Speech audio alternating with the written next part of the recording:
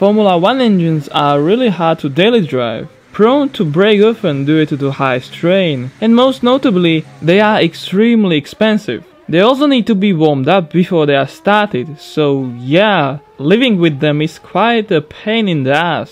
There are however some cars which receive these complex units. Not many, but all worth a note.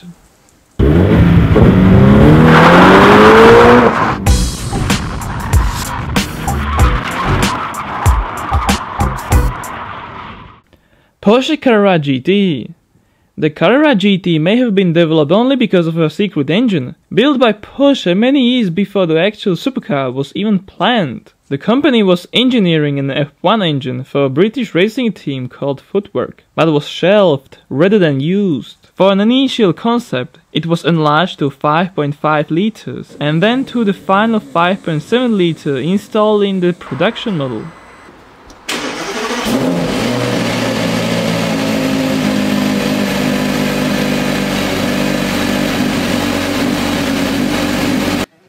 Ferrari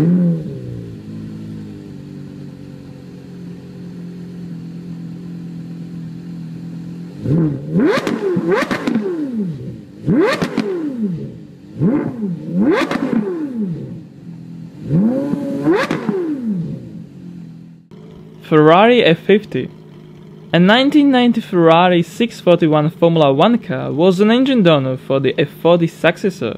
It is a well-known thing that the F50 was slower than the F40, but its engine was truly based on an F1 unit with 60 valves. Its engine displacement went from 3.5 up to 4.7 liters to improve its torque and drivability. The F50 never raced, but that didn't stop Ferrari from creating the F50 GT with 720 atmospheric horsepower.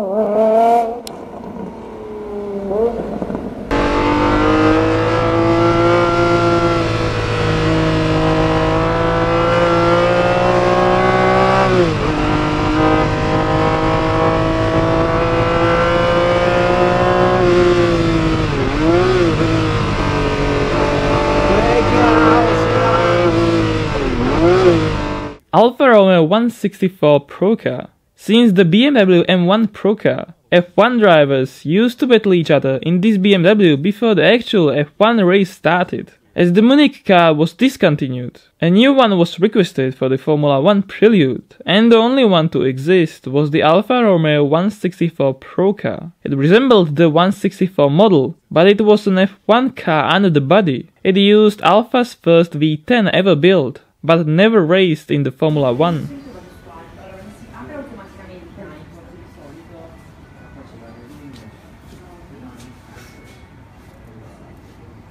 Production of the exciting Alfa Romeo 164 Pro car, driven by Riccardo Patrese the brutishly fast V10 engine machine, ended up looking exactly like a standard Alfa Romeo 164, yet capable of 200 miles per hour. Renault Espace F1 being sold for 10 years already back then, Renault decided to celebrate 10th birthday of the Espace by putting the F1 V10 engine in it. They were successful in the Formula 1 series, so why not? The Renault RS5 unit was therefore installed in the Espace, and interestingly enough, it had higher top speed, partially because of the higher power up from 700 horsepower.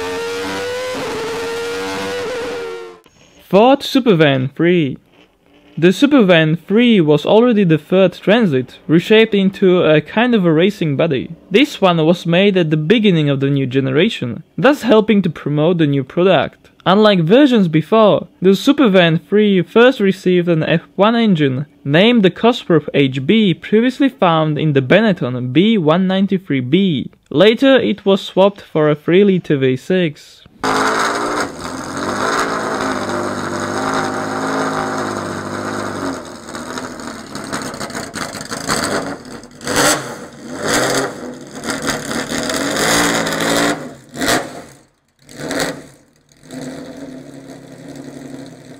Yamaha OX99-11 As Yamaha got into Formula 1 in 1989 as an engine supplier, they also thought that it would be a good idea to detune the OX99 engine a little, and while still pushing 400 horsepower, cramp it into a light, carbon fiber body sports car. Their financial situation was what prevented this crazy supercar to be production made.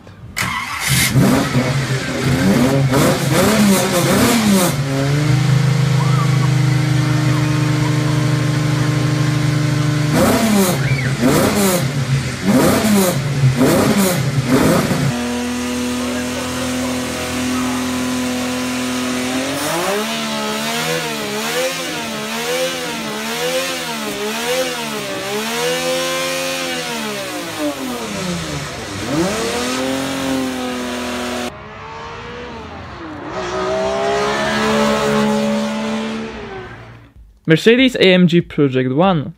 According to the rumors, this is going to be worth the wait. The Project 1 by AMG is said to have the current Mercedes F1 power plant, of course with detuned power. The red line is also coming down from 15,000 to 11,000. A crazy thing about it is that it is going to withstand only 30,000 miles before an overhaul, which still sounds like a lot considering it is an F1 unit. The combustion engine is going to work in conjunction with a few electric motors. BMW 1502 Looking at the specs, you gotta be asking yourself how this is a Formula 1 engine. Some might have the clue that this is the BMW M10 engine, the gloriously famous F1 engine from 1986, which was making 1500 horsepower from 1.5 liters. Such a power was only available during qualifications, and it could last a few laps at most. It is a completely revamped engine, but the engine block was the same as in the production car.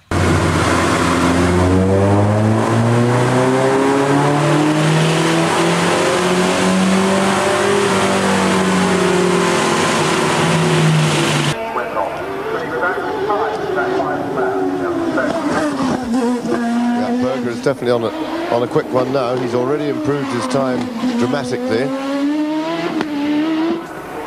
Making himself up into fifth place with a 120.5.